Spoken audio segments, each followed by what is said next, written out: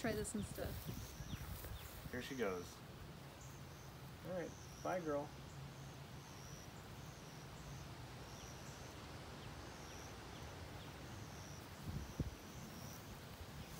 Cool.